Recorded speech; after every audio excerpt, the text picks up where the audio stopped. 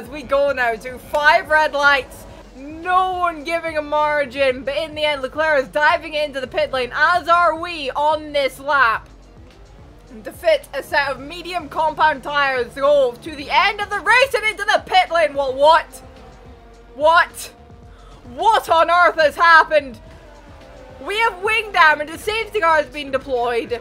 Um, in the pit lane, maybe, Jeff? I wonder what these marshals here are thinking. Like, what is this idiot doing? What? I'm not... This is the weirdest pit lane glitch I have ever friggin' seen. Um...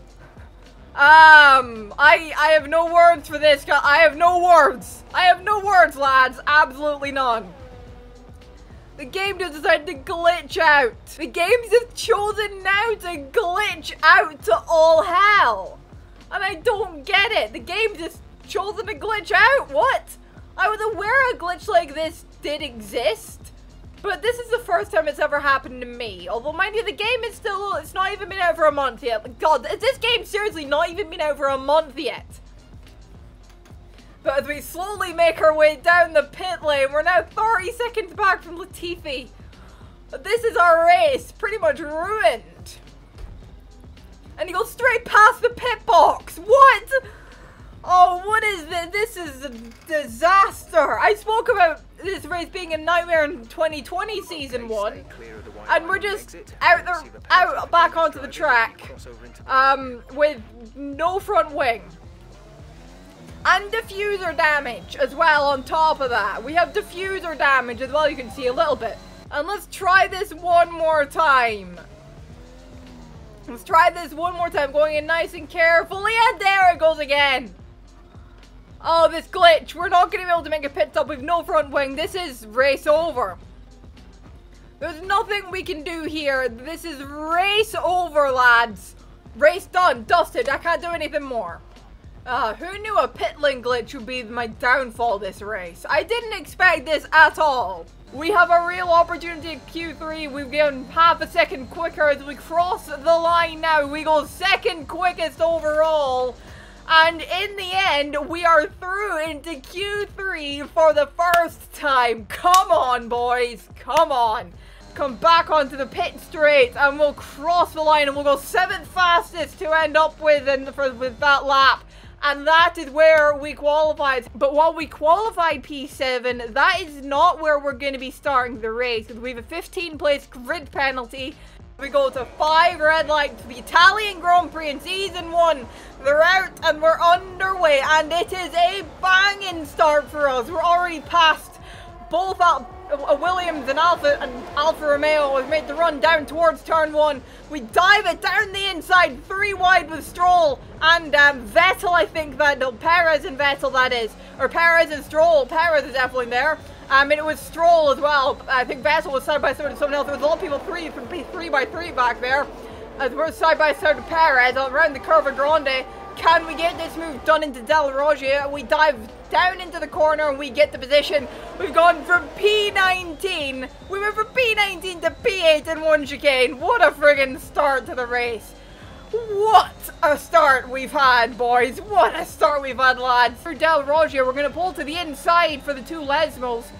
We go down the inside and we are through and up into 7th place. But this is what's been happening with us. We finally closed up quite considerably to Yuki Tsunoda.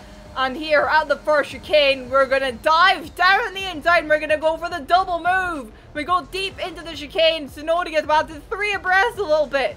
We get the move done and up into 5th place to perhaps go for something down the main straight as round the parabolica. He loses it. Lando Norris is round. What a, what a camera angle, Cody's which is going to promote also a place into fourth. So we were fighting for fifth. Now we're going to be fighting for fourth. Um, as we're going to come home onto the start finish straight for, like I said, a pretty incredible P4 finish. From P19 on the grid, we finished P4. What a race result. What a race result that's been. Five lights ahead of us for the Singapore Grand Prix. They are out. We're underway, and it's a decent start. Uh, the first getaway, but we're going to lose the rear end a bit. Which means, well, we don't get quite as good of a start as I thought we did. Now down through the first couple of corners, a bit touchy-touchy with some of the cars. We get an illegal overtake on Russell. So we have to hand the position back to three wide up ahead between Mazepin, Raikkonen and Alonso. We're going to squeeze down the middle of Tsunoda and Russell through turn five, I believe that is. And we are through past them up into whatever place we're fighting over. I can't even remember what place we're fighting over. Um, as Alonso and Mazepin are will ahead of us we dive down the inside of Raikkonen. Russell follows us through there. We're going to go down the inside of two cars for a double overtake there past Mazepin and Alonso. And we are up now into P13, I believe. Um, Gasly just ahead of us in P12 there behind Ricciardo. And I'm pretty sure that is our teammate. Just ahead of Daniel Ricciardo as we head over the Anderson Bridge and down towards the hairpin. We go down the inside of Gasly and we're up into 12th position. Um, and maybe try score some points. Um, as down the inside we go, we bang wheels a little bit. He gets a little bit out of shape through the corner, but no damage done. We are now past him up into 11th place. Our teammates up next on medium compound tires. So um, Esteban Ocon is up next into the break, and then we dive down the inside. What a move! What a move! Past Ocon up into ninth place, um, and down into, uh, down into turn one. Can we do the same thing to Stroll that we did to Ocon just a few laps ago? Down the inside of the Canadian, we go off the track. But we come back on, and that was some move. That was a brilliant move, dive bomb to the inside. Can we make a dive to the inside of the head? Into the braking zone, we dive bomb both of them. What a move that was. Um, but we're in Q3, and we will actually be starting in the top 10 this time. For the first time, we've made it to Q3, and we will be starting inside the top 10. Because we have no grid penalties. None whatsoever. Um, but we're later in the session. I've not done a run yet. Everybody else has. This is my first run on, a, on my final fresh set of soft compound tires. Um, and it's not been my oh, it's not been my worst run through the first sector, but it's not been my best run either. Um, but it, it's not been too terrible. It's not been too terrible. I'm getting a lot more used to the circuit now, and I did do a bit of practice for this race, admittedly, for recording. I did do quite a bit of practice in this race, on this race, doing time trial, uh, some Grand Prix. oh, by the way, while I'm writing about it, slight screw up. I never noticed that before going into this, I never noticed before going into, until after the race. Um, however, it turns out that for some reason, starts are set to assisted, and I do not know how long they've been set to that. And damage is set to reduced and not standard, which is what I normally have. I normally have it set to to manual starts and standard damage and hard fuel mode, but now it's gone uh, assisted, easy, reduced. But we come around the final corner now, big extension of the track there, out the penultimate corner. We cross the line, we go third fastest. What another lap! Brilliant lap from us, and we stay third. How we have ourselves onto the second row of the grid. How? I do not know. For the race, as um, we head to five lights are gonna be on for the Mexican Grand Prix. They're out. We're racing, and it is a very tentative start from us. Um, maybe not my best choice, um, as we send one down the inside of Mick Schumacher right on the gearbox of our team. But we're looking for a way past. Hopefully Callum will not make this too difficult. Once again, we go down the inside uh, this right-hander here, and we are ahead and into P16. And we got a great run out of there, heading down the straight, deploying ERS, and it is a very easy pass on Nicholas Latifi. Um, he's defending the inside. We're going to take the outside line, and we're going to breathe around, dance it around the Williams car up into P14. Meanwhile, yet, but uh, we've seen a problem at our end. We're looking into it. Oh, of course you've seen a problem. It's not good news, I'm afraid. Seems like an engine issue. Well, what kind of engine issue, Jeff? Um, uh, and he's pulling off. Sainz is out of the Grand Prix. Carlos Sainz retiring from the race with a mechanical failure.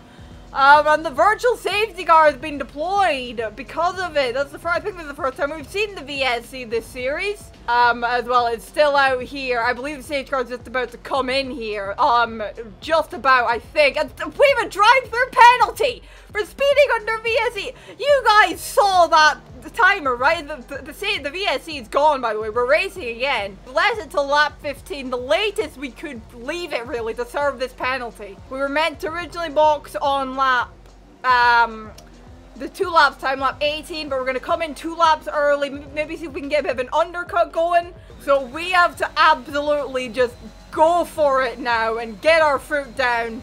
Um, or maybe he was in the pits already, I'm not entirely sure, but we will gain a couple more positions here from people coming out the pit lane. Um, one of them being our teammate who we will just get on the straight, and we will to re-overtake Nicholas Latifi, which we will be looking to do rather rapidly. Hopefully we can do that later this lap in, in that same place where we seem to be making all our overtakes. Um, at the end of this twisty sector here, into sector 3. Into the right-hander just up ahead here. We're deploying ERS, and we're going to send it down the inside of the Williams at this corner once again, and that is moved on back up into P15. Um, Lance Stroll is up next. He's not making moves on George Russell, so we're going to send it on him at this corner. Well, we never sent it on him there to begin with, but we sent it there on him now. Um, but we just ahead of um, Lance Stroll as Nikita Mazepin is now out the session. Uh, also with mechanical failure, and here's the safety car coming out this time. The safety car is coming in just as we catch up to the field. Oh, you could not have timed that any better, but the safety car is coming in at the end of this lap. We have a chance of points here on the curb. We're right on his gearbox, pushing him through almost. As we deploy some ERS to try and keep closer to him. And we're going to switch to the inside and dive down the inside here once again. And that is job done. To go for the move, we're deploying a bit of ERS. Which way is he going to defend? He's going to defend towards the inside. We're going to pull to the outside and we're going to dance it round the Frenchman in the Italian car, and that is another position. That is P11 up for the taking. We'll be getting a nice slipstream off him as well. Maybe as we get, if we bang tires, as we get a brilliant run out onto this back straight uh, red in sector 2 though.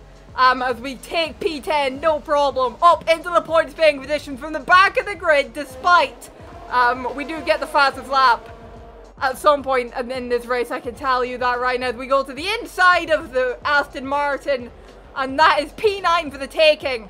Um, as we are in prime position to get past Checo Perez here. Taking all the liberties to the track limits, we've got deploying ERS. This is our last chance to get past the American and get P8. We dive down the inside at the right-hander, and that's moved on. Move made. That is P8 for, our, for the taking. What a comeback drive that's been for us. Um, and Red Bull, well, at least Verstappen, not looking too terrible this time. Uh, but we're here in Q3 um, for our run. Um, it's later in the session, not set time yet. Everyone else has I only had one set tire, so just, you know what, let's just go for one run. See where we can put this thing. We're purple in the first sector. That's a brilliant way to start off. We have a great car for qualifying, it seems like. These last few races have shown we really have a good qualifying car. Uh, but it's just in the race, of the pace doesn't always seem to be quite good as we fire into the middle sector here. This twisty technical part of the track um, of this um, Interlagos circuit here in Brazil. Um, just trying to get through the corners cleanly. No lockups, no spins, no wheel spins.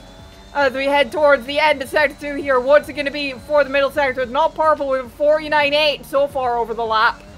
Um, run up the hill now as we just came out the penultimate corner. With the track to ourselves at the moment, it is all ours. As we open the DRS onto the start-finish straight, we made the run up the hill, keeping close to the wall. And we cross the line and we go quickest overall. With a 1 minute 5.8. What a lap that was. It's quick enough in the end for P2. Um, so the curves here, a wee bit lethal, the about two tenths up on our beds. We lose the back end a little bit and we spin it around spectacularly. We hit the wall, we lose our front wing. What a spin around that was. And what did I say though about, first of all, the curbs. And second of all, me struggling in Australia season one. Look at, listen to the crowd cheering as I span. Um, as, um, well, we loaded to here in what? I'm sorry, what? Is that, we're in, what? We're in Abu Dhabi. Why is it raining? We're in Abu Dhabi. It's in the middle of the friggin' desert. It's raining for qualifying. We're, we're in Abu Dhabi. What? Yes, raining in Abu Dhabi apparently. Um, it's still very cold here on the R&D with with Alfa Romeo and Alpha Tauri, and it's fucking raining in Abu Dhabi. Ladies and gents, it is raining in Abu Dhabi. Because you can't change the weather in my team. You cannot change it. You get what you you get what you're given for the weather. So it's just randomly generated rain for qualifying. in, uh, in Abu Dhabi, the middle of the desert. What? Oh, this game sometimes. So we have a an intermediate condition Q1. It wasn't mad for retirements. It was mad for wing damage. Oh my god, the wing damage in this race. Look at this. Look at this. Four different, four pit stops for Ocon, Tsunoda, and Norris. Three for Leclerc. Not many warnings, but look at this. Look at all of this. All the front wing changes that you're to see here. Latifi, Ilott, Perez, Mazepin, uh, Ricciardo there on lap 4, the end of lap 4, beginning of 5, Tsunoda, um, Giovinazzi, Leclerc, oh, I think, there's so many wing changes. I, I counted it, you know, when I was going through this, I counted it.